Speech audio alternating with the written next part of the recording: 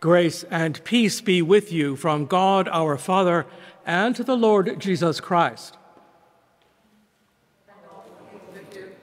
Thank you, everyone. Good morning again. Could we just take a minute, and well, less than a minute actually, and just take a deep breath, hold it for a few seconds, and then let it out, letting those cares that we bring with us dissipate just for a moment.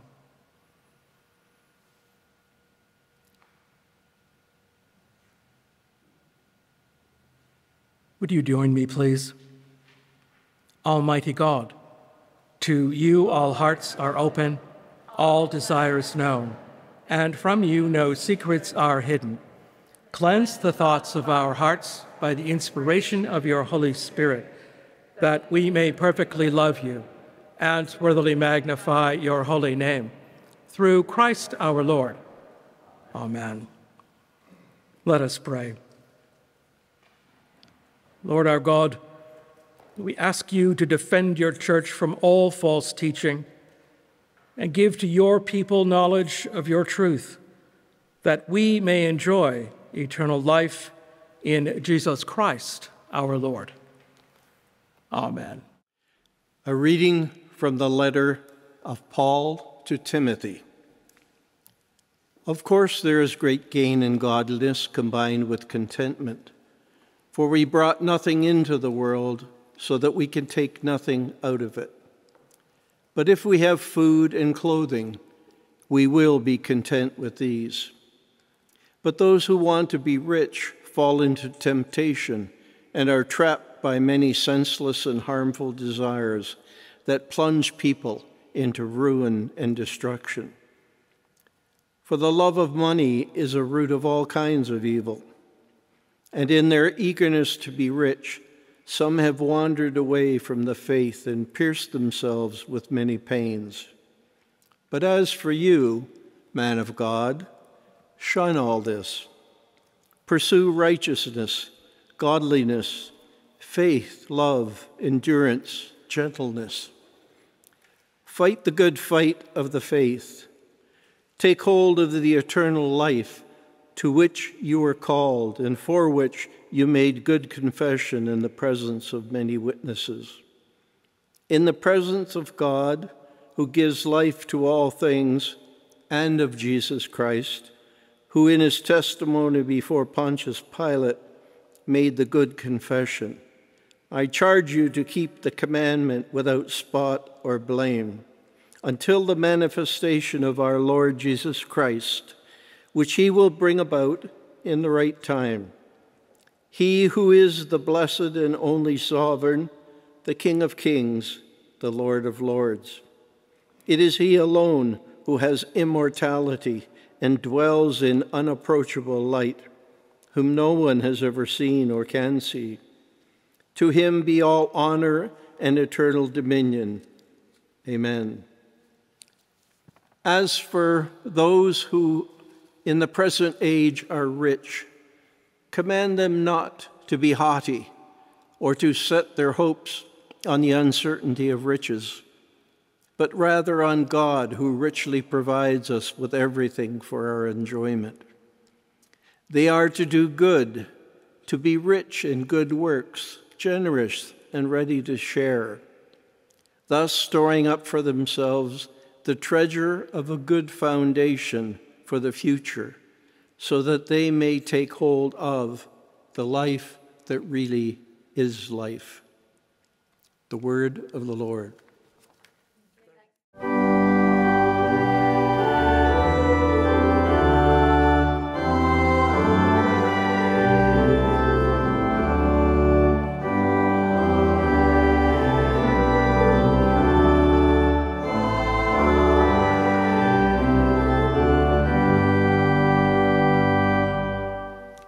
The Lord be with you. With you. the Holy Gospel of our Lord Jesus Christ, according to Luke.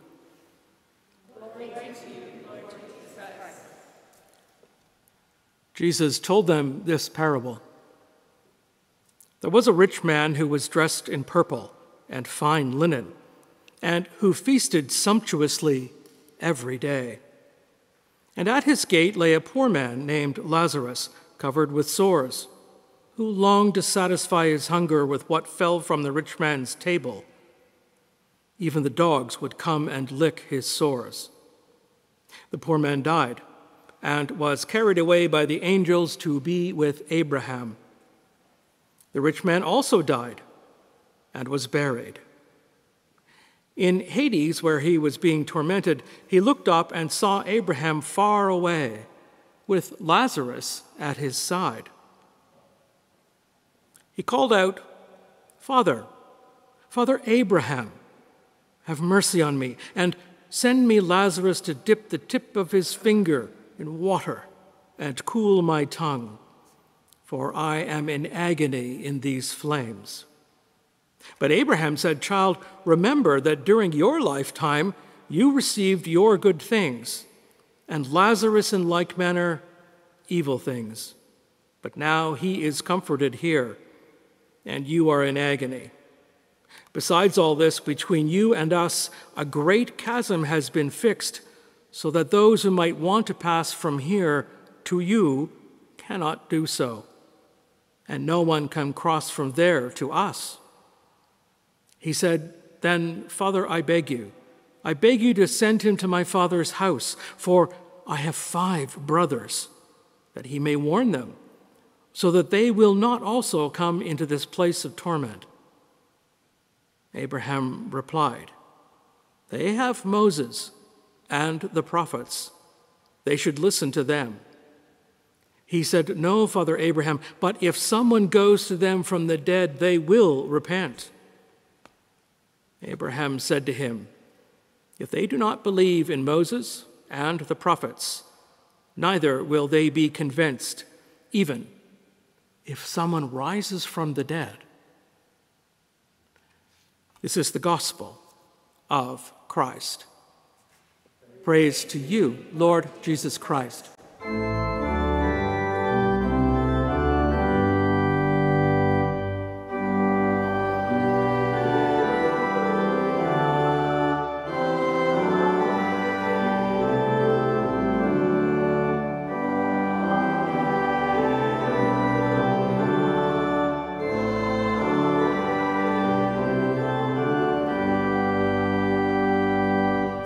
This reading, I think for many of us, can be very troubling. Not because this guy passed by Lazarus every day and then found out that was a problem, because most of us don't do that. Most of us, if there was someone lying in our path, whether it's in you know, downtown Toronto or downtown St. Catharines, where you see homeless people lying, or frankly, just out here in our stair- stairwell, where we often find people passed out and perhaps in difficulty, most of us wouldn't pass that person by forever. Maybe quickly one time, but not certainly again. The problem is that this guy did pass him by many times. St. John Chrysostom has a, a, just a wonderful sermon on this particular reading, in which he says to his congregation, you know, this guy passed by every day and missed the fact that there was a problem right in front of him. How could you possibly do that? And then your eyesight is so good that you can see Lazarus from the far side of a cavern and pick him out. Nothing wrong with this guy's sight. What was wrong was the guy's context. Now, I don't know how many of you follow uh, various personality typers, but I am an I on the Myers Briggs scale. I know nobody believes that when I tell them because I do not look like an introvert when I'm standing up here. But for me, this takes a lot of energy. I love doing it, but it takes a lot of energy, and I go home and sleep in the afternoon on Sundays. Being an I is not the way you appear to be to the outside world, it's where you get your energy from. One of the problems I, and this is typical of people who are introverts, one of the problems I have is that when I get really busy for whatever reason, and things are weighing heavily on my mind, I become one of those horses, you know, that runs around Elmira and whatnot with blinkers on. Or sometimes not just restrictive blinkers, but complete blinkers. And some of those horses do indeed run down the roads with no eyesight whatsoever because they trust the driver. The problem, of course, is if the driver isn't watching, they can easily run into something else and will. It does happen. Now, that is part of my human nature, and if you look at various ways of studying personality types, there are all kinds of other things. But I know I have a problem. In most cases, I can sit here and know that someone is having a crisis. I didn't quite pick it up last week before that poor woman passed out. By the way, she was out here uh, yesterday watching the parade going by and dancing. So she's fine. I don't always pick up on things that are going on, though, if I'm preoccupied with other things. And that has been confirmed for me with various counselors and things like that, that, yeah, you got to be careful. You may have a similar kind of thing. That doesn't mean I'm going to ignore someone who's lying on the sidewalk in front of me. But it does mean that perhaps in that moment, I may think to myself, oh, I'll get back to this person and see how they're doing later. What happens if that's the moment that they are going under from an opioid overdose? What happens if that's the moment before they start to get sick because they have not had, I mean, vomit, before, because they have not had breakfast or lunch or even dinner? Because the reality in our world is that someone who's vomiting in public is going to become a pariah really quickly. The first thing that goes through our minds is what the heck is wrong with this person? And do I want to be involved? Or where can I get a hazmat suit to put on? The problem with the rich guy was he was so preoccupied that he didn't see these kinds of things. And I think sometimes our problems, and I'm not guilt tripping you, but our problems are that we get so busy that we don't see them. And there's the call to a spiritual reality. When we get that busy, when we are that preoccupied with whatever it is that is going on in your life, and it doesn't matter, it can be that too many buses came into the terminal all at once. It can be that there's a problem in your family. It can be that you're busy and, like me, preoccupied and you don't quite see what's going on in the periphery. But whatever it is, take a moment. Take a moment and take a deep breath several times three, four, five times. Hold it for a few seconds and let it out. Now, let me say if you begin to feel lightheaded or faint, for heaven's sake, stop doing it. But that breathing exercise, that yoga breathing, Lamaze breathing, whatever you want to call it, slows you down. And all of a sudden, the blinkers be able to come off, or will be able to come off. Why is that important? Because whenever one of those things is affecting you, there is the opportunity for you to miss what God is saying to you. And that can become a big problem, especially if whatever's preoccupying you goes on for a long time. Are you worried about a math test coming up? Are you worried about French composition coming up? Is it really preoccupying you? Take a deep breath, hold it for a few seconds, and let it out. Do it several times. You can lower your blood pressure that way. You can slow yourself down that way, and you can take the blinkers off. Now, it sounds simple, doesn't it? The catch is we got to remember to do it. Because in those moments, you're often thinking, I just want to get on and solve the problem. But in getting on and solving the problem, you may not see what else is going on around you.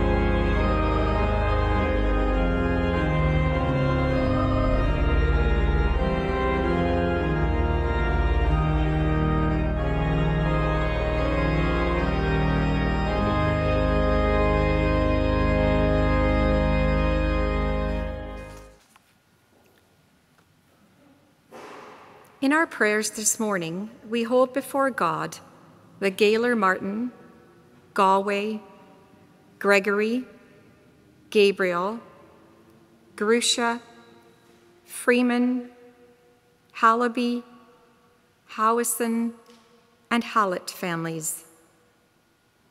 We remember and give thanks for the work of the Samaritan Foundation, Dominican Advance, and the ongoing ministry and work of Not Just Tourists. We pray for those who are homeless, for their safety, health, and salvation. In the Niagara Diocese, we remember St. John Cheapside, the Reverend Canon Richard Moores, rector, and the people of that parish.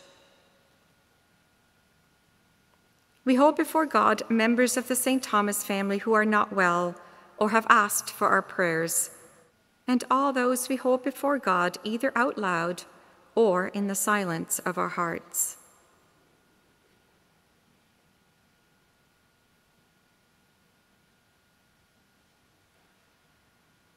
We hold before God in prayerful support Justin of Canterbury, Linda, our primate, Anne, the Archbishop of Ontario, Susan, our bishop, and all those who work at Cathedral Place.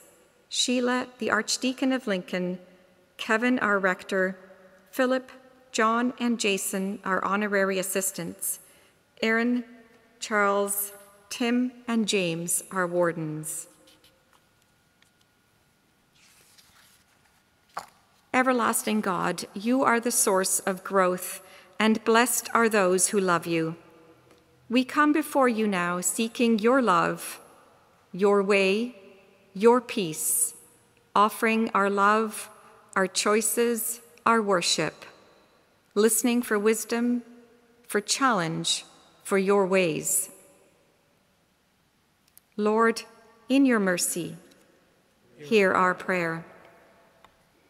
Faithful God, you call us to follow and you warn us of the cost of discipleship as your love overwhelms all our life. We pray for those who pay a very high cost for faith as they face danger, persecution, or death for what they believe.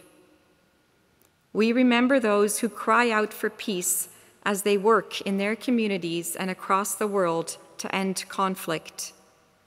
Not only that, but we pray for those who speak up against systems of power as they seek to transform economics and politics for the good of all. Help us to work together so that truth and justice, harmony and fairness flourish among us. Lord, in your mercy, hear our prayer. Now, as our Savior Christ has taught us, we are bold to say together Our Father, who art in heaven, hallowed be thy name. Thy kingdom come. Thy will be done on earth as it is in heaven. Give us this day our daily bread, and forgive us our trespasses, as we forgive those who trespass against us. And lead us not into temptation, but deliver us from evil. For thine is the kingdom, the power, and the glory, for ever and ever. Amen.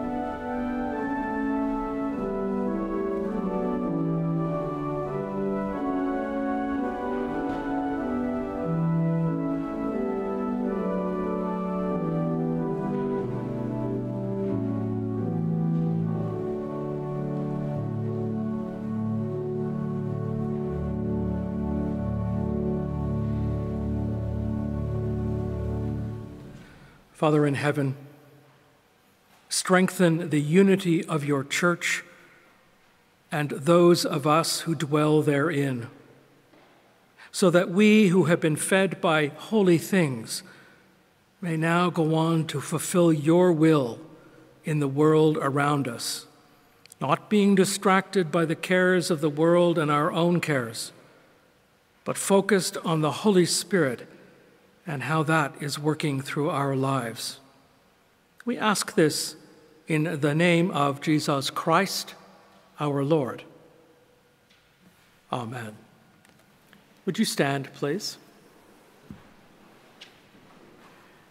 Glory to God, whose power working in us can do infinitely more than we can ask or imagine. Glory to God from generation to generation in the church and in Christ Jesus forever and ever. Amen. Remember, my friends, now that it is our job to go out and watch for Lazarus because there are so many Lazaruses in the world. Not in an unsafe way, please, but in a Holy Spirit way, in a way that will bring the hands and feet of Jesus Christ to those among us who may very well need our help.